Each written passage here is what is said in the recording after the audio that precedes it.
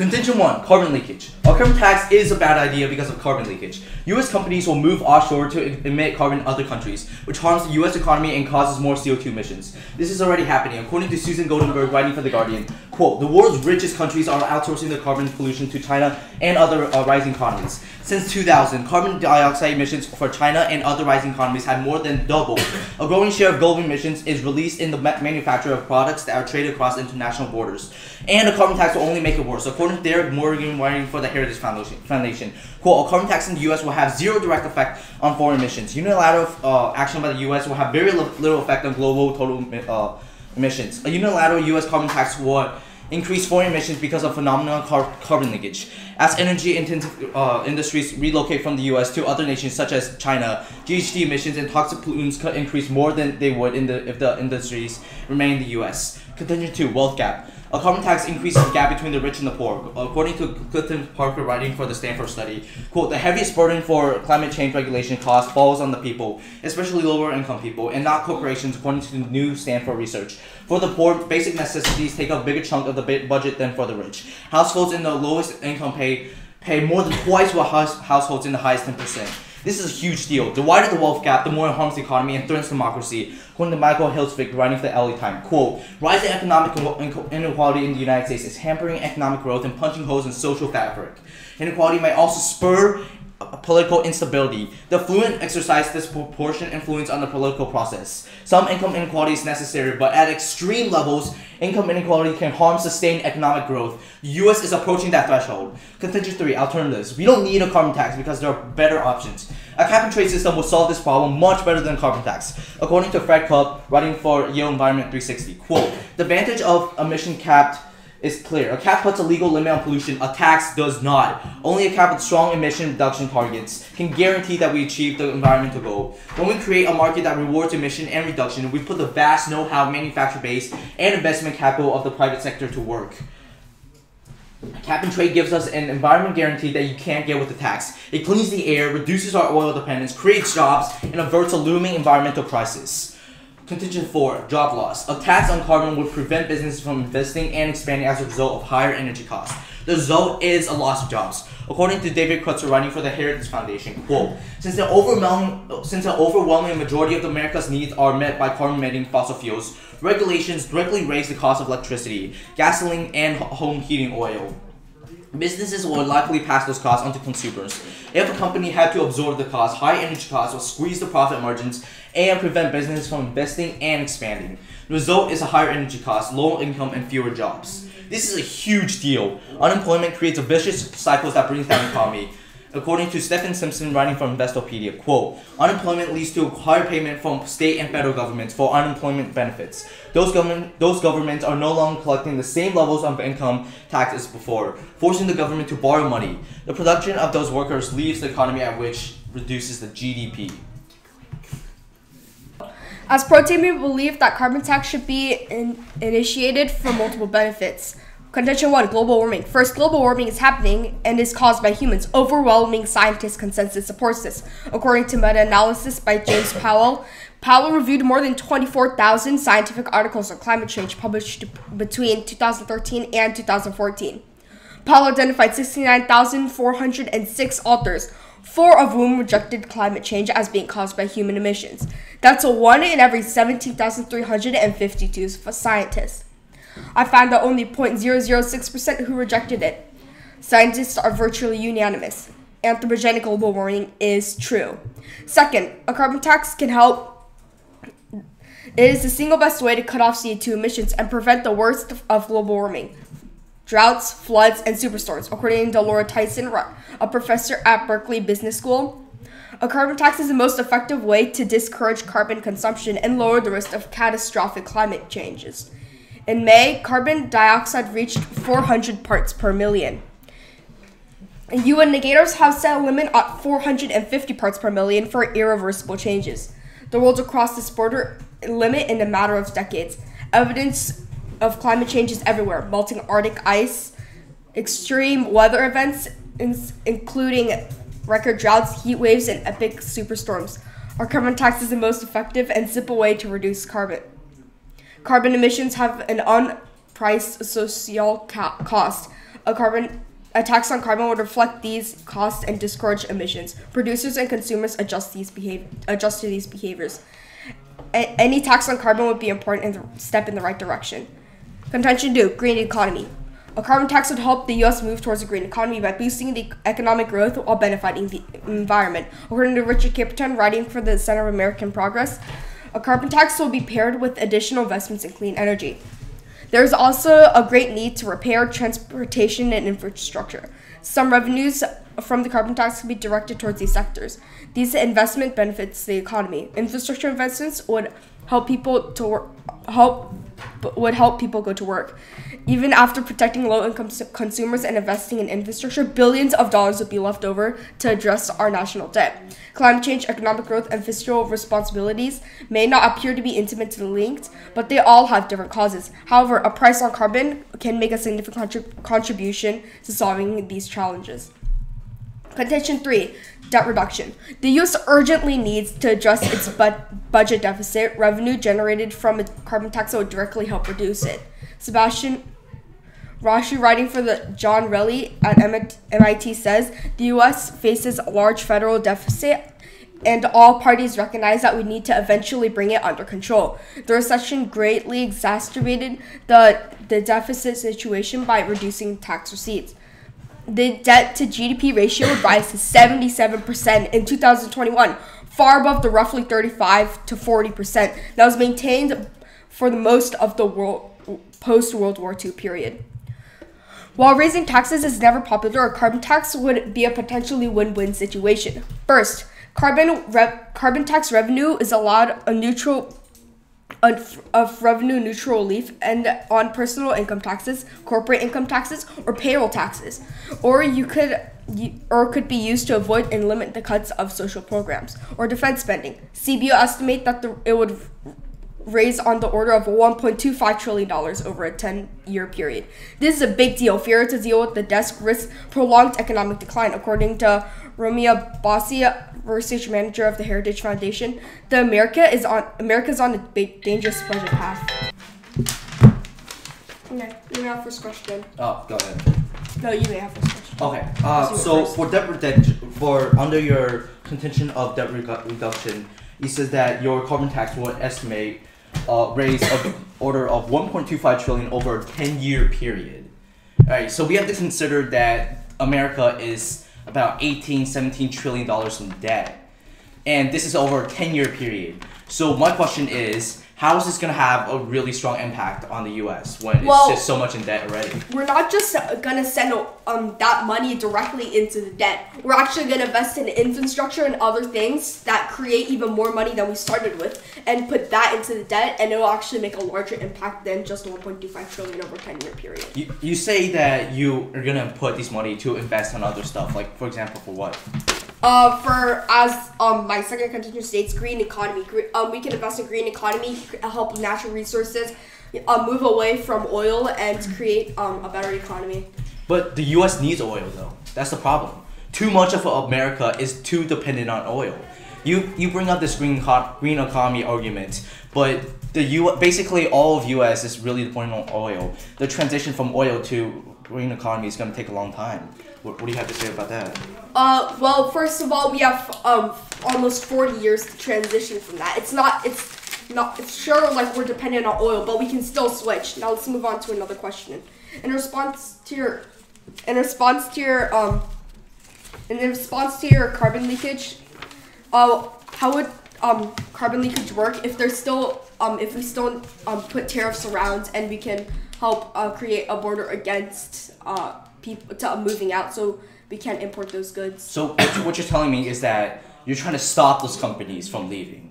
Yeah, we're trying to stop them from um, uh, create um, sending their products to China to manufacture. Well, the U- the U.S. really doesn't have the right to do that because they can't stop companies Actually, from leaving the U.S. The com- there's billions, there's hundreds of thousands of uh, companies in the U.S. You can't stop all of them. And how are you going to build a border in the first place?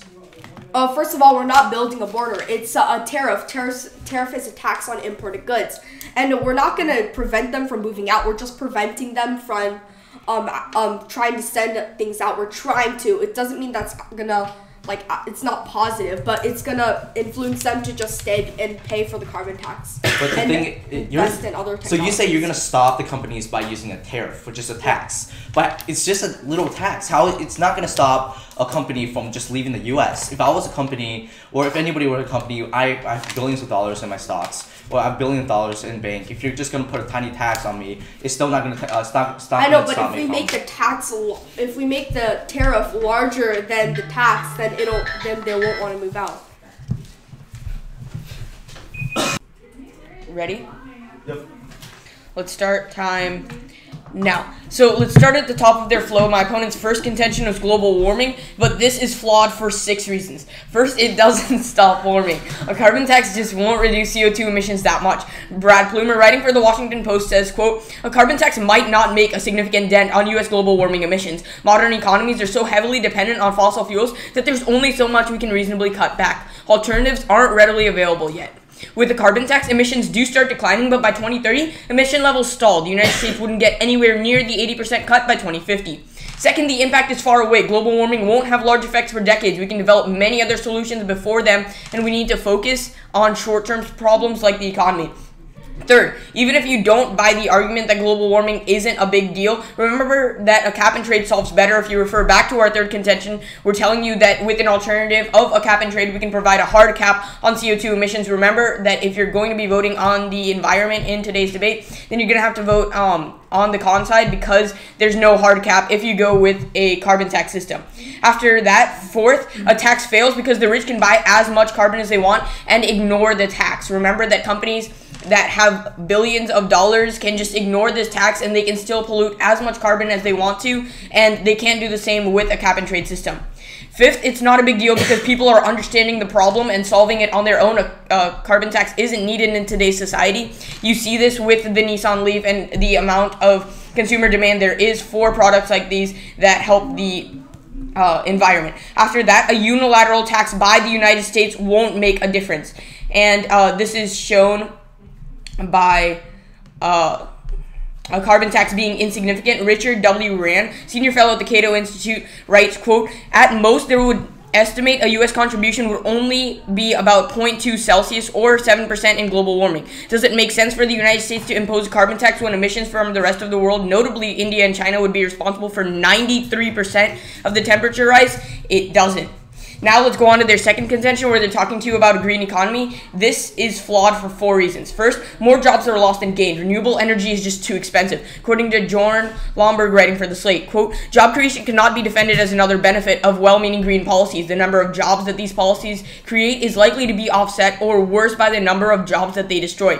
Second, the tax revenue will be wasted and not spent on good things. Remember that the government as a whole is very inefficient. It doesn't care about profits and it's not uh, anything like a company where they actually care to put money exactly where it belongs. The government wastes a lot of money all the time, and that's exactly what's going to happen with these tax revenues.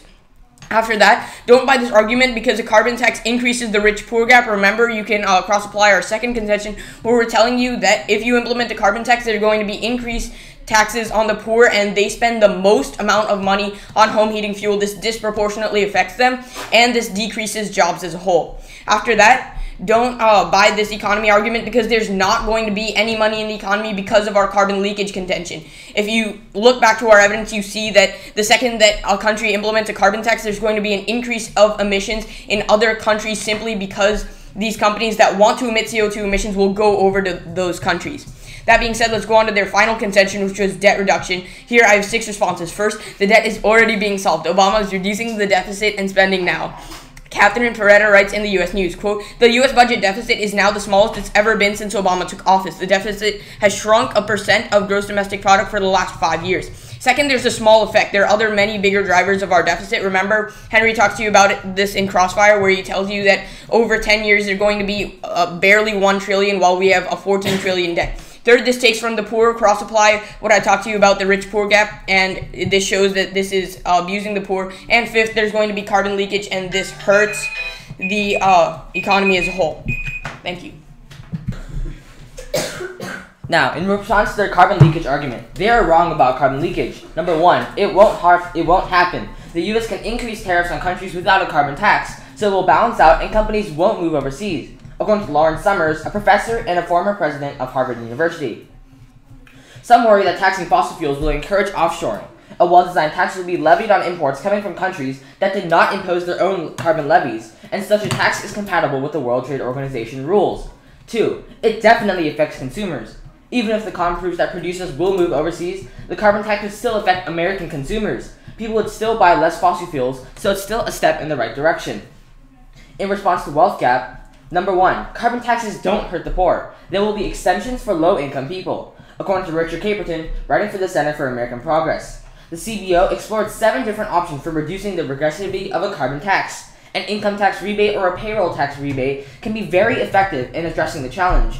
These rebates reach a very broad number of people and can be targeted to specific income levels. The overall reform package is progressive.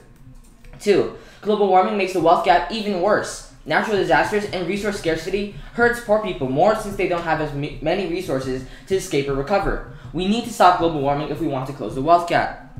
In response to alternatives, 1. A carbon tax is better. It has many advantages over cap and trade. According to Charles Komanoff, writing for the Yale Environment 360, only a carbon tax can quickly drive the transition from fossil fuels to renewable and efficient energy. It is far superior to a cap and trade. Price certainty, the clear price signals from a carbon tax stand, in stark contrast to the price volatility in endemic to cap and trade.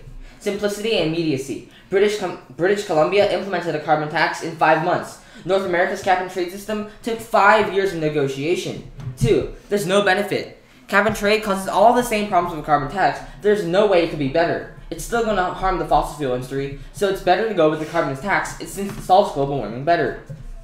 And finally, in response to job loss, number one, a carbon tax would actually lead to more jobs and overall economic growth, according to Rick McGahey, writing for CNN.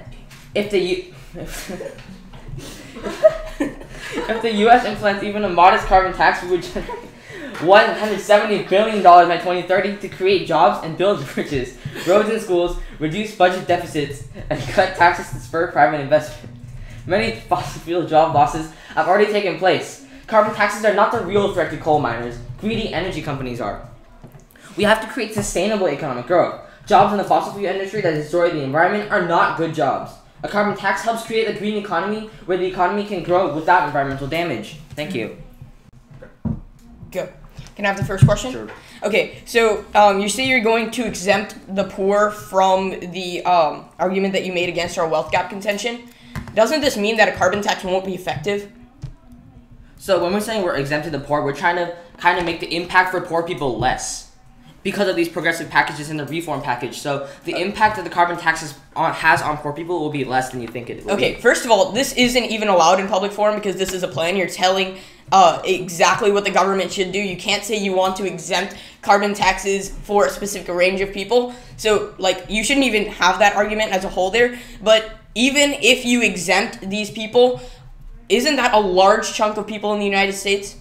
All right. So number one, uh, responding against your plan argument, I can have this because it's just saying that the carbon taxes don't hurt the poor, and we can. No, you're there telling is- me that- Wait, can I finish my response? I'm just saying that there is a solution to the problem that you have presented me, and number two.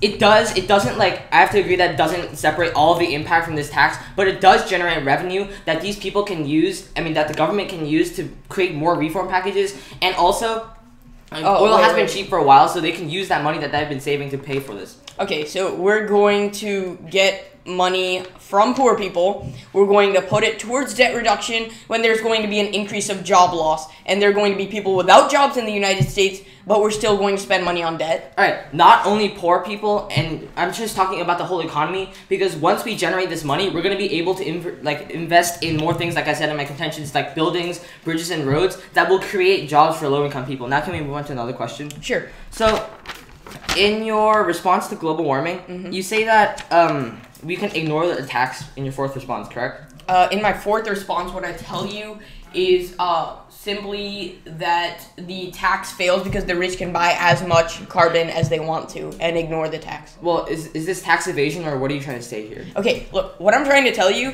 is when I have, let- let's say I have a million dollars. Let's say the tax is 10 cents per ton of CO2 emissions. That tax doesn't affect me because that's only 10 cents. So I'm still going to buy as many uh, carbon credits as I want to. I'm still going to emit as much pollution as I want to, and it's not going to have any effect on the atmosphere. Okay. So the droughts that you talk about, the superstorms that you talk about in your global warming contention, they can only be solved by a cap and trade system. Okay, can I ask another question? Oh, actually, Okay, sure. Okay, so you talk a lot about the economy. That's what your second and third contentions are focused on. But how is there going to be uh, an economic growth in the United States when there's carbon leakage? Alright, so carbon leakage won't happen because number one, we have terrorists to stop these countries from going. Oh Sure, wait, so we're going to decrease our foreign relations in every single country so that we prevent a couple of companies from moving. Isn't aren't you restricting companies' rights by doing that and but we're decreasing benefiting foreign the environment for this. Okay, Because so you could just go with the cap and trade alternative. Is everyone ready now? Yep. Sure. So our, fir- our first main point was carbon leakage, and your response to that was first, it won't happen. But that's wrong because this restricts companies' rights, and it goes against and uh, and cap and trade is just a better option. Uh, two, your second response to that was that it affects consumer and has little impact, but a cap and trade system has a huge impact and affects everyone. Uh, I mean, carbon tax affects everyone. Uh, your, our second main point was the well cap, and your first response to that was that it doesn't hurt the poor and exempts them. But this is called playing, and and you cannot have this argument. And even if you do, it does not separate them and exempt them at all. Your second response to that was that global it was global warming, and it makes the wealth gap even worse. But a cap and trade system solves this problem. It, it uh, decreases the wealth gap, and a carbon tax doesn't serve uh, doesn't solve this problem well. Our third main point was alternatives, and your response to that was carbon tax is better and it makes it faster and drives it. But my response to that is a carbon tax is actually worse. For example, it did not even work in British Columbia. It, it didn't work until 2012. What it didn't work for a long time. So, and your second response was that it had no benefits. A, a carbon tax had no benefits, but I mean a, a cap and trade system had no benefits. But but a carbon a cap and trade system stops carbon uh, carbon leakage, and it's just better overall, and it's, uh, it leads to a better economy. Our last main point was job loss, and your response to that was that it leads to more jobs, but it wouldn't because of carbon leakage. Dang. Ballsy come, ballsy come. You got You guys are everybody ready? Yep. Okay. Wait, hold on. Okay, I'll wait for you. Okay. You have like 18 responses. for Yeah. Six, six, yeah, six, Okay. five, that's 11, 15. Okay, first I'm going to um, summarize um, global warming. Global warming is basically saying that um, anthropogenic global warming is true and that it's harmful, and the only way to solve it is through a carbon tax. They respond to this by saying it doesn't stop. Um, um, that it doesn't actually stop global warming. A carbon tax won't stop global warming, but actually it will because it will inject it. The carbon tax will um, help people not use carbon, and they'll move towards a more um, resourceful things such as renewable energy, and so they won't actually use it. Um, they also said that it would um, the impact is um, that it would develop in other ways, and we need to focus on other things. But no, we need to focus on it now because the world is already experiencing um, record droughts and um, heat waves, and um, global warming is already taking its strike. So we need to act now. They also said that um, that cap and trade is better, but no, it's not better because the theory of a hard cap will be turned into a soft cap. According to a piece of evidence from um, Roger Pielke, uh, cap and trade is doomed to fail. Political reality will turn the theory of a hard cap um, into the practice of a very soft cap that has that has backdoor safety valves and um, and allows the cap to be evaded. So it won't work. Um, and um, global um, green economy is basically saying that it will it will create a new type of economy that will be beneficial. Um, they said um, they stated in response to it that it's um, more the jobs lost um, um, that jobs are being lost, but actually jobs are being being gained from this through um, because it's creating new jobs. It also said that it will increase the rich poor gap, but actually no, it'll help it because you can help poor people um, and give money to poor people. And in response, um, and also for um, uh, for um, debt reduction. Um, what they um is basically saying that we can help to reduce debt, but they said it's already being solved. But no, it's not being solved. Okay, so you guys as the pro team have to prove that a unilateral carbon tax would be the best option. But wouldn't it be better if other countries took part in a mutual uh, alternative? What do you mean by neutral alternative? Okay, so like if a lot of other countries came together and like did uh, implemented a CO2 emission cutting policy. Because U.S. by itself would not have a really drastic effect. Well, we're trying to we're trying to like decrease the carbon emissions in the U.S. and also decrease the global warming emissions as well as the green economy. So, So, the U.S. accounts for less than 0.03% of emissions, as I read to you in my response. If we cut emissions in the United States alone, what effect would this have on the droughts, on the superstorms that you Well- talked about? Well, we're um a superpower, so many other countries want to follow us. Is there and- evidence of this? Well, Has this one of happened the- before?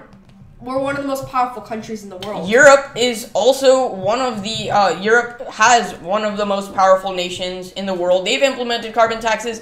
No other country has implemented carbon taxes. You see empirically, you implement a carbon tax, it fails. You see this with British Columbia, and no one else wants to implement it. wait, didn't the EU have a cap and trade system, not a carbon tax? Um, do you like? Do you know of when this cap and trade system was implemented? If it was in fact implemented? Do you know when your Like carbon? any Do you the know when your carbon tax was Yeah, sure. So the British Columbia carbon tax. You Um, just said from you the just said Europe. Europe, Yeah. not British Columbia. Okay, Europe took part in a carbon tax, and the evidence is simply that the United States and other countries don't have a carbon tax. But you don't have an evidence to prove that the Yeah. that the EU had it in the first place and the rate of success or failure. When we prompted you to ask about Europe, you, you, you stated that with the response to British Columbia, which is completely different. Okay, Alright, let's move like, on to the what's your point? Do you have a question? Yeah, British sure. Columbia is part of EU. So, what? Alright, next question. Okay. So, in your um, debt reduction connection, you say that Obama is already solving this, right? Yes. But didn't you say that it only de- the GDP? I mean, the debt recre- decreased only one percent over five years. Uh, yes. That's zero. That's a zero point two decrease. Isn't that really small? We won't be able to No, solve our debt. Obama's currently quo. implementing an increase of policies to decrease the United States debt. But you know, this argument, uh, your your debt reduction point doesn't really make a difference because because of carbon leakage and its impact, which you clearly haven't addressed. carbon leakage. Yes. But we said that we, we have said that we can imp- implement tariffs so that these countries can go out and use China as like out. I mean, not only China, but outsource their pollution to other countries. So you want you want to take away our position as a superpower because of a carbon tax. no, because No. when we do when we do these tariffs, we might pressure other countries to in- enact a carbon tax also. When we implement tariffs, other countries hate us because we're telling them that we don't want to trade with you anymore. We're decreasing our foreign relations. This has been shown in the past. That's why you have organizations like NAFTA to increase free trade and to increase relations. Okay, do you have a question? Oh, that's time. No. okay. Now, okay, so the two main voter issues in this debate were carbon leakage and alternatives. Going to carbon leakage, essentially, we're telling you here that if you implement a carbon tax in the United States alone, companies won't like that. They will move overseas. You see this with an increase of CO2 emissions in developing countries like China and India. Remember that the impact of this is that the carbon tax as a whole doesn't work. So if we prove to you in this debate that carbon leakage will occur even at a minute amount, you're not going to be voting for the pro side. Then let's go on to alternatives. Uh, the alternatives contention, essentially what we told you here was that a carbon tax system is not the correct way to go because it induces carbon leakage, it increases the wealth gap, and it creates job loss. Instead, you should go with the cap and trade system because it provides a hard cap on CO2 emissions and is good for companies. Remember that the impact of this is very big because if we implement a cap and trade system, it solves every single thing the pro has while not having any of the harms of a carbon tax. That being said, let's go on to my opponent's contentions. Their first contention was global warming. Remember that there was no response to my final two um, responses. I told you that a tax will fail because companies that have enough money can just pollute as much as they want. Remember that this means that every single impact that they have with droughts and superstorms goes away completely. After that, I also told you that a unilateral tax will not make a difference. The United States doesn't account for a significant amount of CO2 emissions, and so implementing a carbon tax in the United States alone, which is what the pro is advocating for, won't have an impact on CO2 emissions. After that, let's go on to their second contingent where they talk to you about the green economy. Remember that there were, again, two responses that weren't responded to. The first one was that tax revenue will be wasted. Remember that the government is not an entity that wants to create profit, that uh, spends its money very rationally. Remember that this tax won't go to debt reduction, it won't go to the poor, it will go on some obscure thing that we don't know about. After that, they also didn't respond to the fact that there's no money in the economy because of carbon leakage. Remember that this was, an, was another one of our voters, so you can take down this contention entirely on this point. And then debt reduction, remember that there wasn't a response to carbon leakage again, and there wasn't a response to takes from the poor. So at the end of the day, you will be voting con. Thank you. Okay. Starting. Now, okay, so our, our two global, our two voting issues are number one, global warming. People are dying and they're experiencing natural disasters that are caused by global warming. The effects are already being shown. Like we said, the superstorms and the droughts are already happening. That the time frame isn't far away. Like we said in our global warming contention, these UN negotiators have already told us that 450 parts per million is the max that we can reach, and this will be reached in a matter of decades and years. So we have to stop it now before we reach that threshold. We don't have to wait until that actually happens. And also, we have a solution that we can solve for the to, to end global warming. We can use the carbon tax to discourage use of carbon and other oils that causes a decrease in the amount of emissions that we cause, and that'll provide a leadership to other countries, which means the whole world will stop using. The whole world will eventually move away from using oil, which decreases the impact of global warming. Our second voting issue was debt reduction. Our debt is really high, 77% of our GDP, and the um Okay, the danger level is 90%, and we will reach that really, really soon. So, addressing the carbon leakage impact, the tariffs discourage companies to go over to, and outsource their pollutions in places like China. So, and then eventually that'll decrease our emissions, which will in turn provide other countries, and they'll be like, oh, they decrease their emissions, why don't we do that too? And then, that's not funny! Alright, and in response to this, a carbon, ta- a carbon leakage won't happen because, like we said, cross supply are the second point of our second voting issue, and wealth gap doesn't matter either because a tax would affect both people equally, but um, reform packages, like we said in our response, will help um, dissipate the impact towards the poorer people. And in response to job loss, um, I mean, they didn't really like make a big impact about it, but it still doesn't matter because the, even though jobs are being lost, that still means we're moving away from oil. And in response to their alternatives, a cap and trade system fails because the EU tried it and it didn't work out. Thank you. Nice, nice. Uh, Brian Shon.